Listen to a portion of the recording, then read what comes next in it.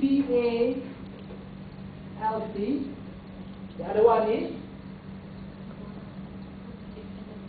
electronic payment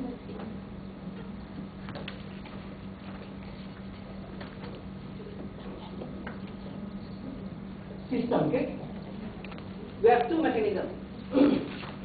one is BPALC, which is suggested by the Bank Negara, Central Bank of Malaysia, and also the electronic payment system, which is being done by privatized companies such as eDinar or eGold or S4.com or any any electronic web-based companies.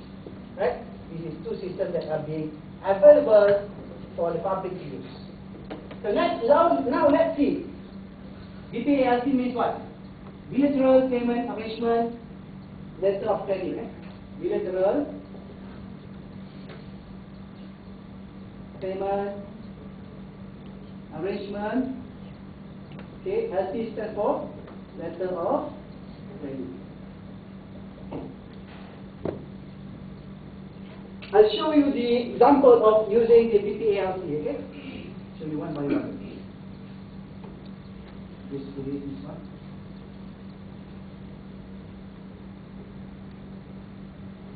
Come. Bilateral payment arrangement. Okay, let's say Indonesia and Malaysia.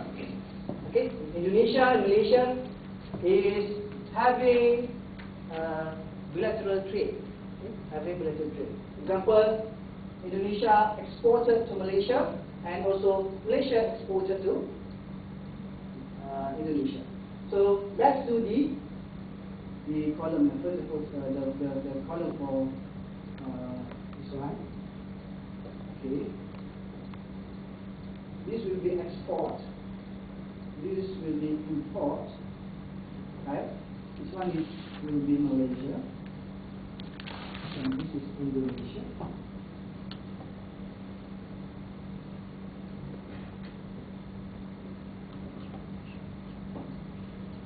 I this type Indonesia. okay, now let's say the table is for import and export for the year 2002. Okay. Now let's say Malaysia export to Indonesia 10 million gold dinar worth of products. 10 million of gold dinar worth, worth of products. And then Indonesia export to Malaysia 20 million gold dinar. Okay? So the total export, how much? How much is total export? 30 million altogether, right? 30 million. Okay? The total export, the total worth of goods was 30 million. So this is total 10 million, this is 20, okay? We get 30 million, right? 30 million. This is the total. Total. 20 and then this is 10. Okay? Total is 30 million. Total is 30. But actually, we don't have to use 30 million to actually fund all these transactions. What we have to do is that only we have to pay only the difference of the total export. Okay, this is accounting. Eh? Accounting. We have to pay only the difference, which is 20 minus 10. Okay, the total worth of gold that is needed to uh, finance this export and import is only 10 million gold dinar. Okay, 10 million gold dinar only.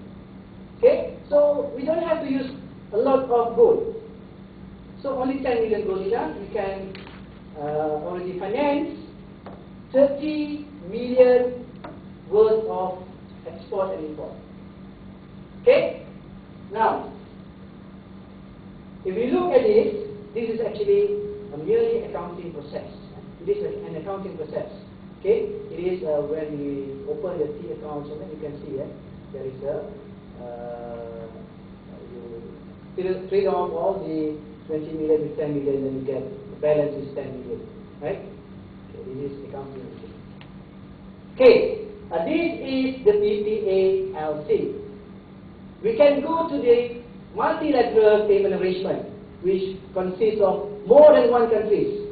In more than one countries, maybe three countries, maybe four countries, maybe five countries, when we have already uh, the, uh, the system is stable. The first one is will be used only between one country, between two countries. Right. Now this is Okay. Question and answer. Okay, before that, I would like to conclude now. Okay, so the gold dinar actually consists of the three major areas, which are economy, okay, finance, and also accounting. Okay, with that, thank you. Is there any question? I will, I will try my best to answer the question.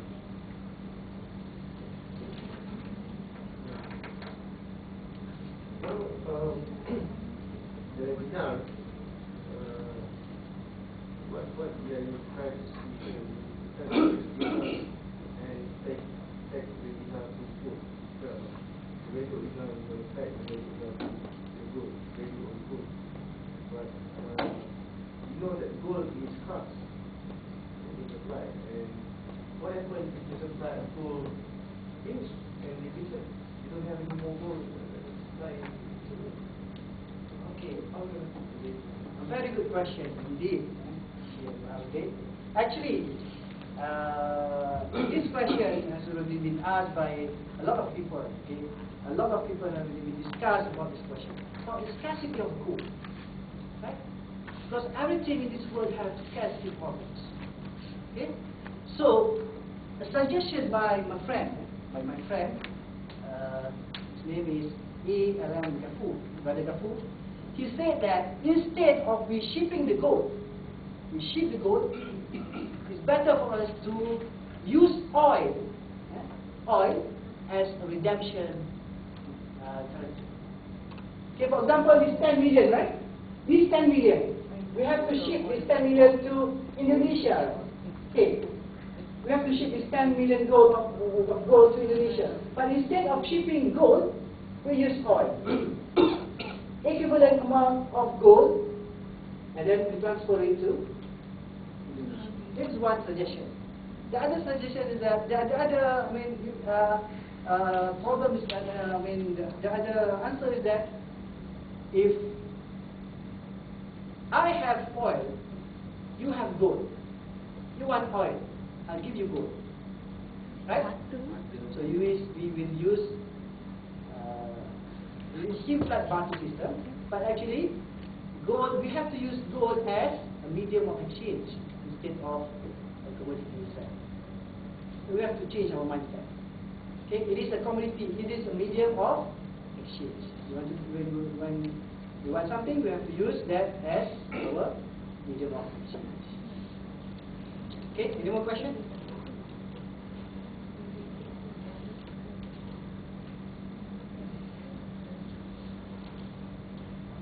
Yes, um, when when you um, calculate the um, uh, uh, the gold, do you use dollars or I mean for one ounce of gold, do you use uh, the um, dollars or ringgit or whatever in exchanging? Okay. Like you have to have you have to use the same amount of um, I mean the same currency, right?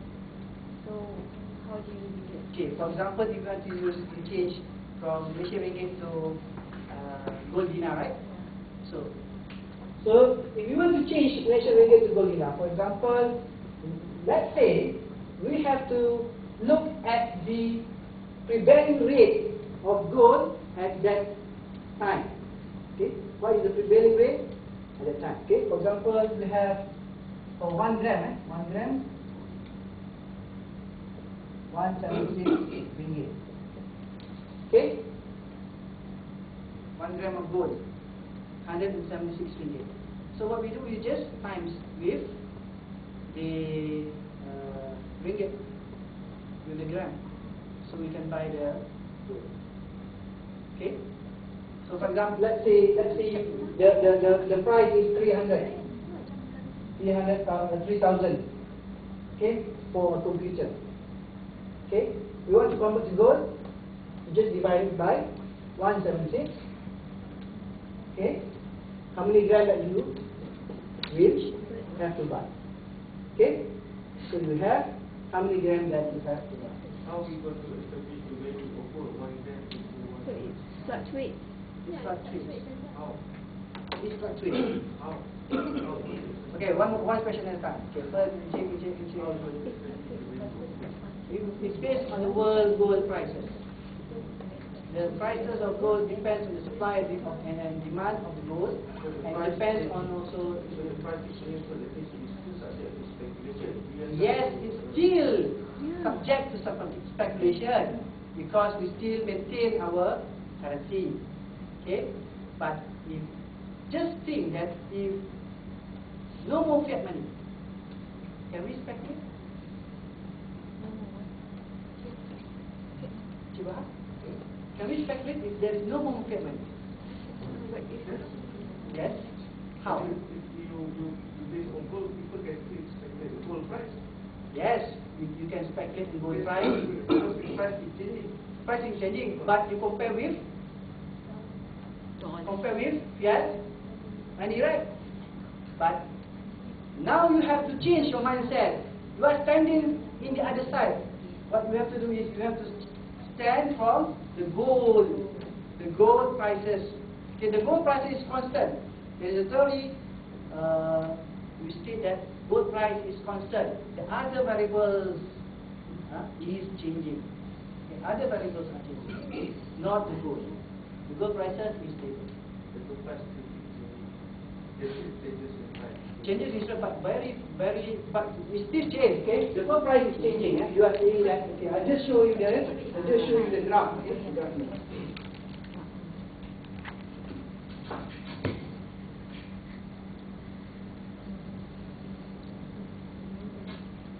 Okay, this is the gold, gold prices, eh? Gold prices, right? You can see that it changed, right? It changed. But in long run, actually what is it? It is con constant. It is constant. Compared to the stock market. Remember, let's see the comparison of the stock market. This is the stock market. This is gold. So gold is constant. This is the theory of constant. Gold. There's not, nothing which is very constant. I mean, you have to be realistic But if we fix our, our currency to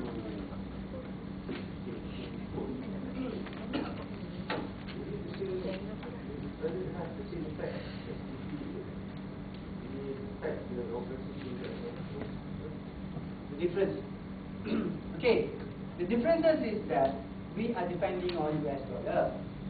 Okay, we want to reduce our dep- dependency to US dollar. Okay, we want to reduce our dependency to US dollar because when we hold US dollars, okay, when we hold US dollars as many as we could, and because we want to finance our trade, financing, and all that, actually we are uh, I mean, we are uh, helping the US dollar what, what is the value of US dollar? What is the value of the paper money instead of gold? Okay. You, you hold a lot of US dollar and then you are actually uh, holding uh, US dollar and then they don't have to do anything. They have just their work is just to print more money, print money, print money, and everybody is demanding their dollar. And what is the value of US dollar actually? What is the value of this paper money? I ask you again.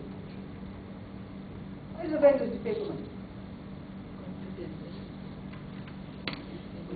all our Okay. But it's going to affect only the Islamic countries. No, no, this is what uh, the Prime Minister wants.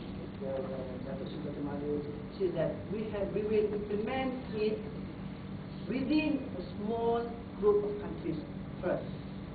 Then we can put stand to all other countries and also to all countries in the Western uh, world and also in the European world. I mean, we can extend it to, to many countries if they want to. They want to. Okay. More question? Uh, There should be a lot of questions because this is a very new topic. This is uh, something which we will would like to implement. And this is just a proposal. And uh, something which is should be a lot of research should be done by the uh, student or student.